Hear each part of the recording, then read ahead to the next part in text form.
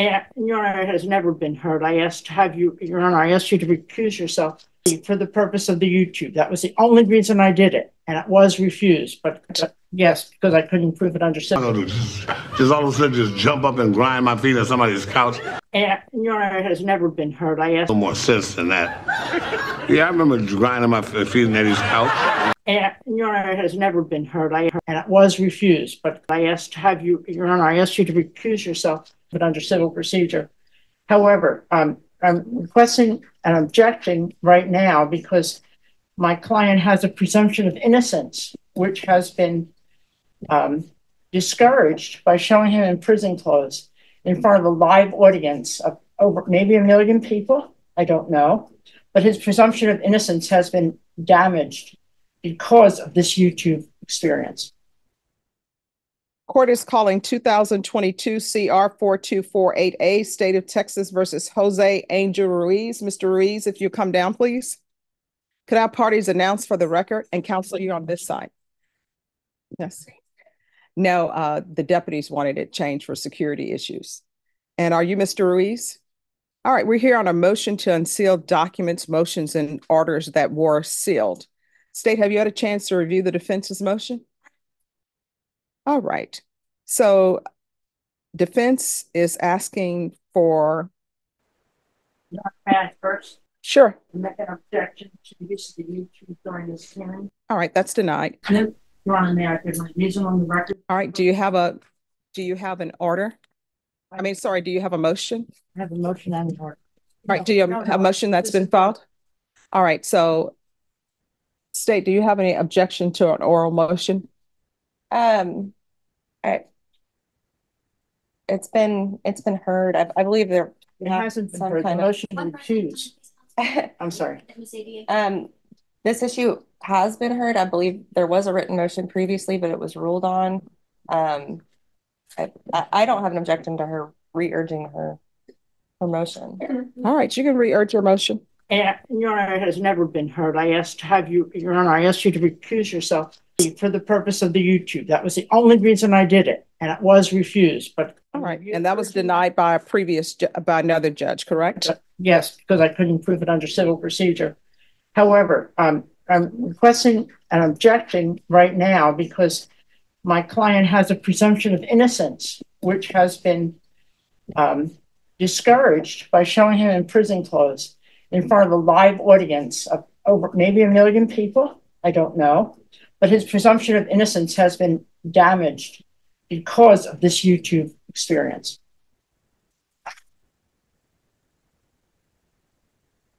All right, that's denied.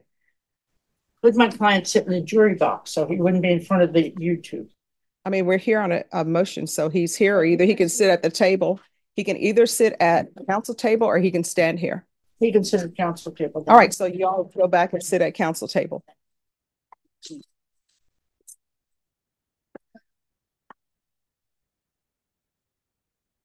All right, and off the record for a moment. And Vashawn, that other person is coming back, correct? Judge, I told her to. I she got it. Okay, all right, thank you, because there's somebody who's going to come down to speak with her. All right, we're back on the record. So, State, you've had a chance to review this motion? Yes.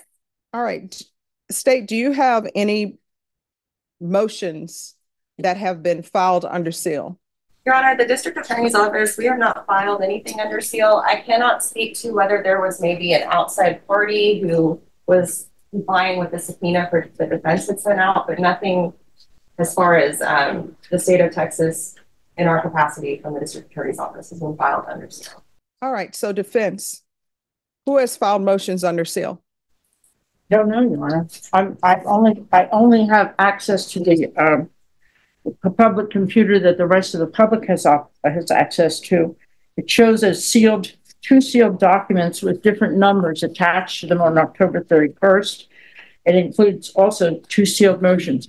Now, it's my understanding that, uh, my co-counsel, Ms. Efron, filed motions for, uh, payments for mitigation a experts. microphone on? I could, I'm sorry. there's a little bit of distraction. I, I didn't hear the name, Miss who?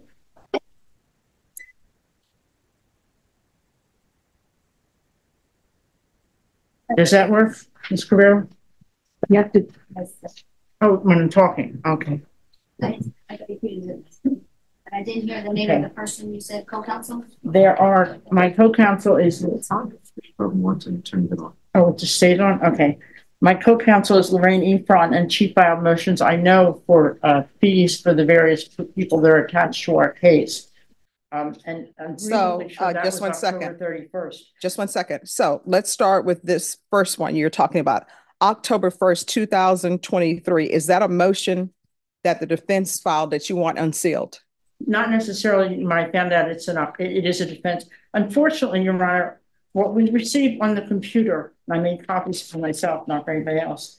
But when I received on the computer, notion mentions a motion and order filed. I don't know who files it. Uh, we don't always know. Miss, um, Miss Mitchell uh, has been helpful as much as she can be, but I'm not sure.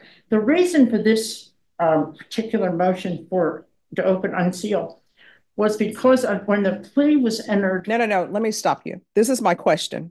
So October thirty-first, two thousand twenty-three, are you asking that that motion, whatever it be, even if it's a motion that was filed by the defense for your expert or whatever, you want it unsealed? Yes, Your Honor. State, do you have any objection to unsealing a motion that was filed on October thirty-first? No. And to the clerk, are you able to look and see who filed that motion?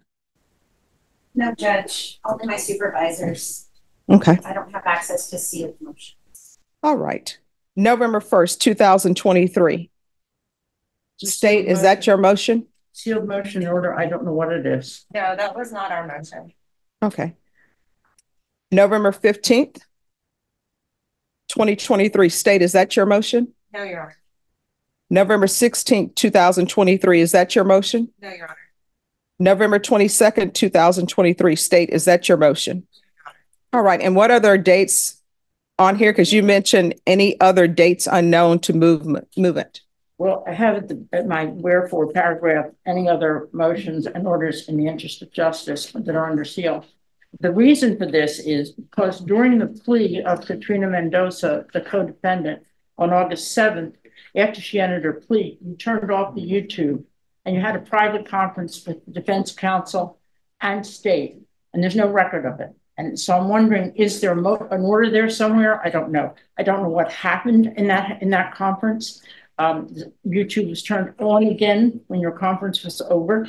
Mhm. Um, and I don't know what went on with it. Well, if people would have been in courtroom that day, they probably would have heard what went on, but you're asking for any other dates unknown to movement. You, you are not asking for orders for the any other dates, or are you? Un- unseal any and all documents, motions and orders in the interest of justice. All right. So what I will do, state if you have no objections, I will grant the motion to unseal the motions that she's asking to be unsealed. And I'll do an in-camera inspection because I don't know what these motions were sealed as to. I don't know if it's something that everyone is supposed to see or not, because I don't know what it is.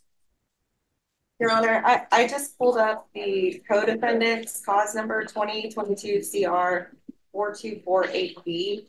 And it looks like a lot of the dates she listed do correspond to what appears to be sealed motions in that case. So perhaps she's referring to, um, I believe the de- defense counsel is Todd McCray.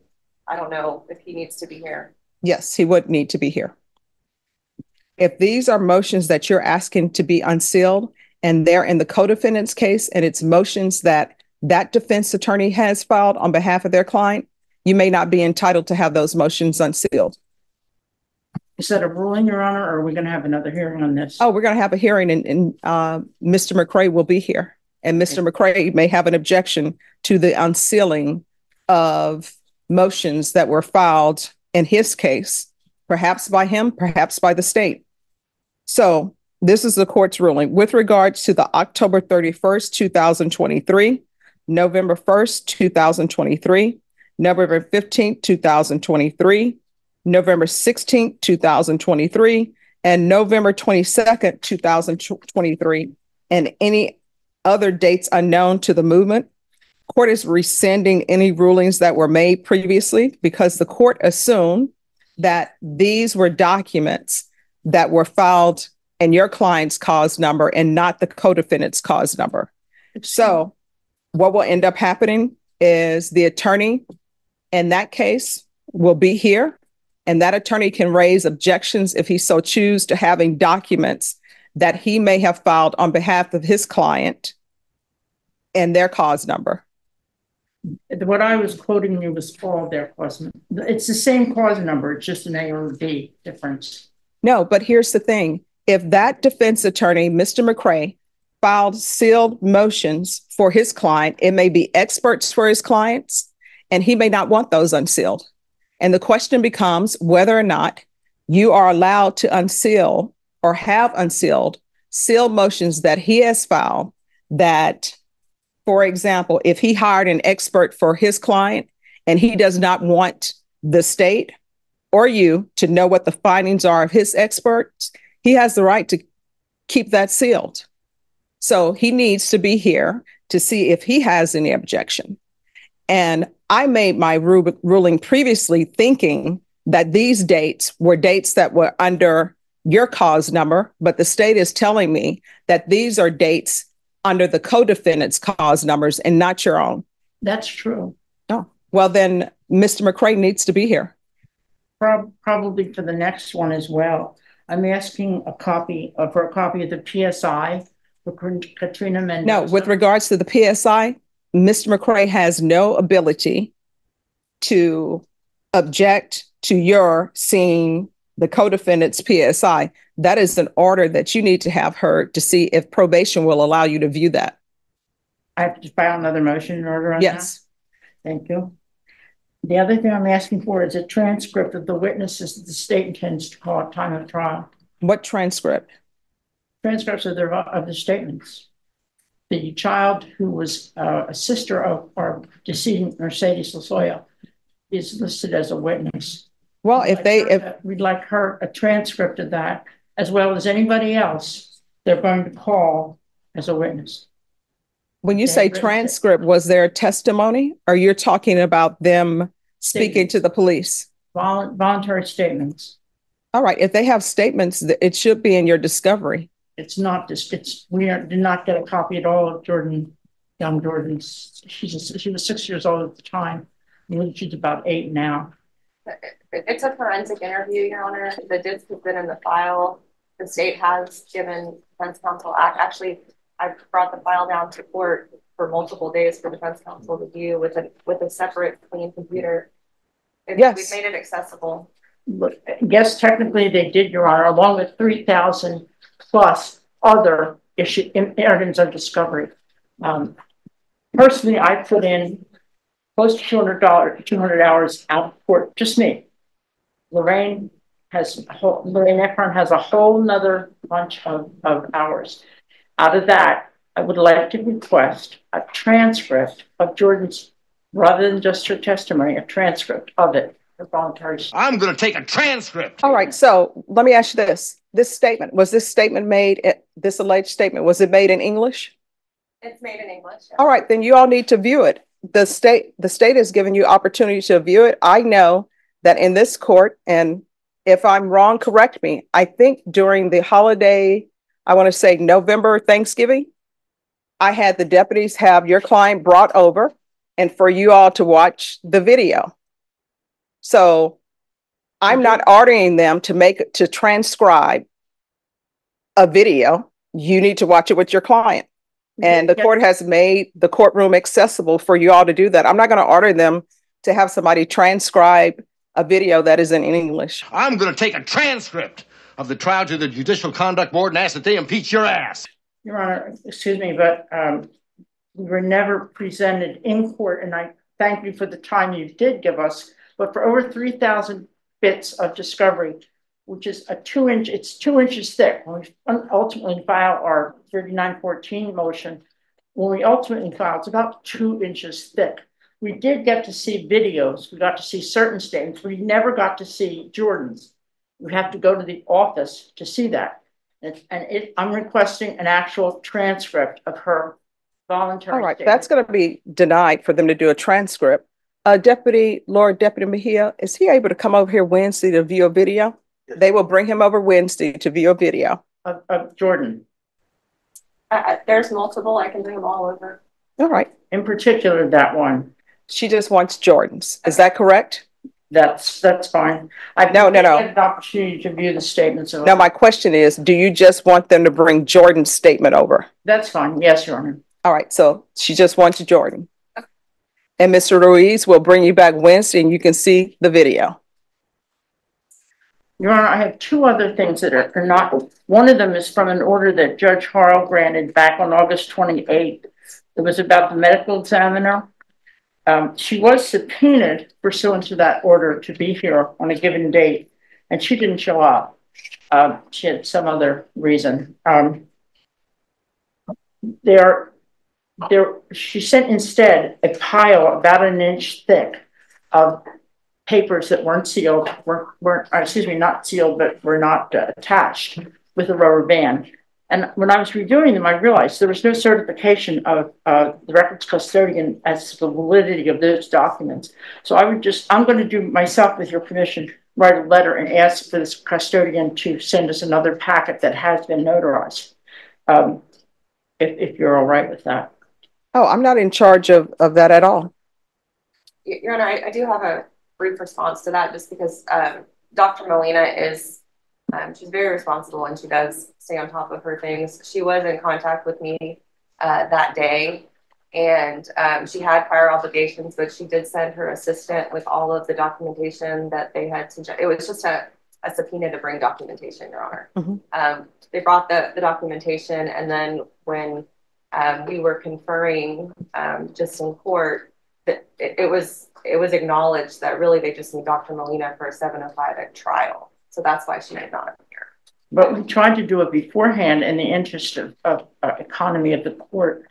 Uh, even still, the fact that the documents were presented loose with no certification by the records custodian, how can we possibly use those records? I'm just asking that we get another copy certified by the records custodian before we go to trial. All right, I'm not going to, to order that. If you all want something, you just pick up the phone, call the ME. You said you've already subpoenaed her in the records, then that subpoena is still in place.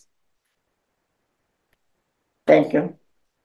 And one other thing, Ronnie, you referred, because um, I don't have, I wasn't in this case until a year after it began.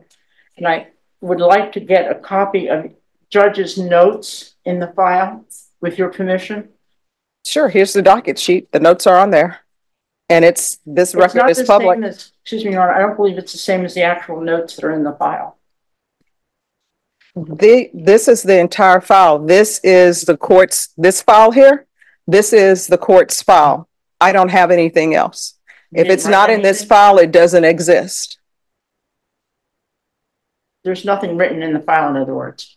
It's all on the, that. It's the docket sheet. I write everything down on the docket sheet and any orders or motions or any letters that have been received by, from the jail by your client, it's in here. This is the court's file. So if I can get a copy of that, you're talking about. the Oh, we're not- sheet. Here's the thing.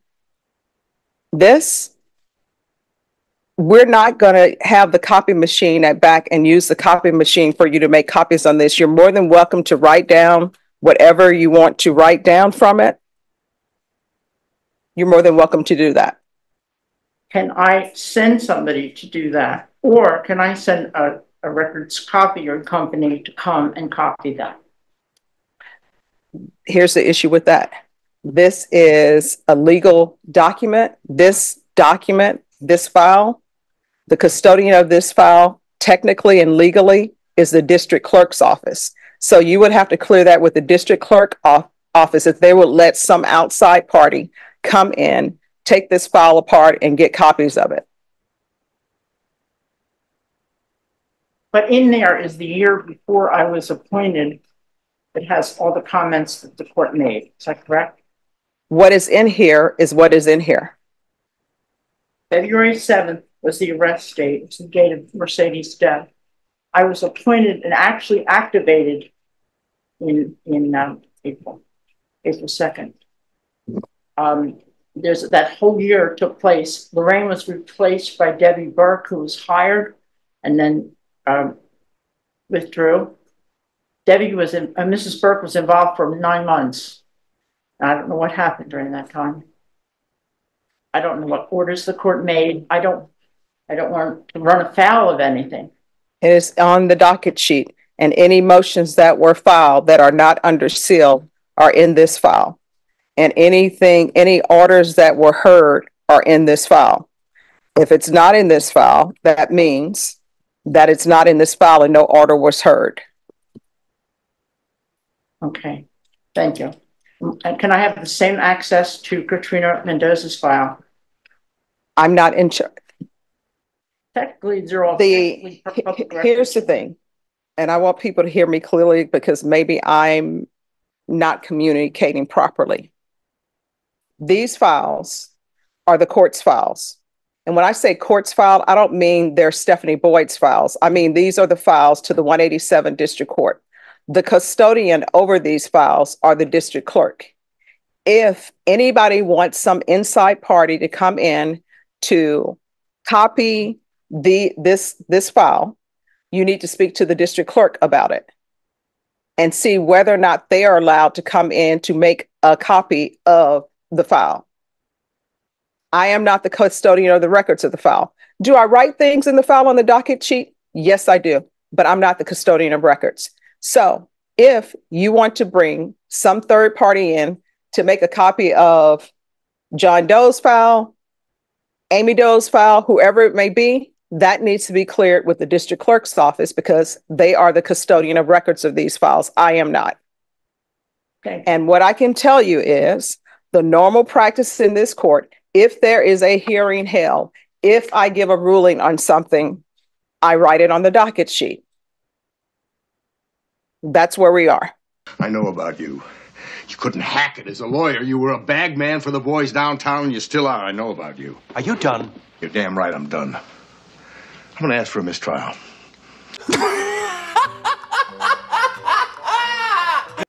that would be all. Thank you, Your All right, so Ms. Ferguson, all right. We need another hearing date. Does anyone have any objection to the court calling Todd McCray, see if he answers, so that we can have a setting on whether or not he has any objections to the motions in his client's case that were still being open or unsealed.